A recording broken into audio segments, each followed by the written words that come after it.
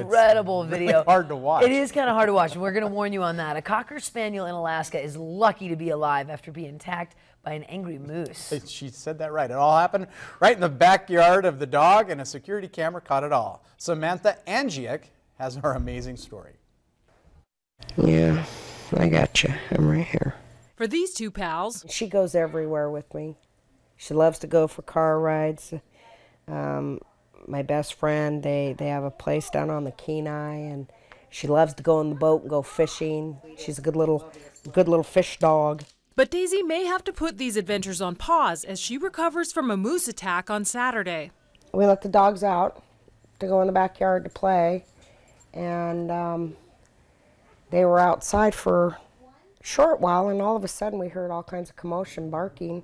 When Kim Mahosky went to see what was wrong, and we saw a calf that had come from this side of the house over here where you can't see them running through the do- through the yard. And um, the dogs were were barking. And I looked up and a mama moose was coming from my neighbor's yard jumped over the fence and attacked her.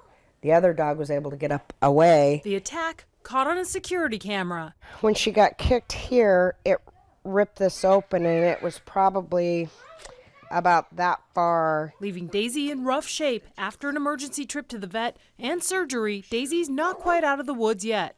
She's doing really, really, really good.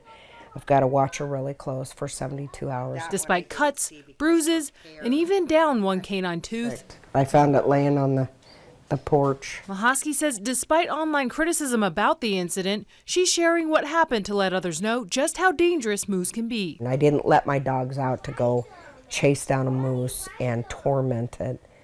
And, you know, people need to realize that. And I didn't stand out there and videotape this. It was my house surveillance camera that picked it all up. I had no idea. As Daisy rests, Her t shirt is definitely her. Actually, the world does revolve around me. in this household, for now it does. The hardest part of that oh. story is watching Matt Elwell's face watching that the whole time. By the way, Daisy, due for a follow-up checkup at the vet on Wednesday. The, the, the tooth that was like spit out on the porch as you. come back in. I told you, Grizzly Bears have nothing on a moose. Moose and cocker spaniel. That's Oh, Hey, gosh. Rocky. Holy cow. Holy cow. Matt, oh. it's all yours, buddy.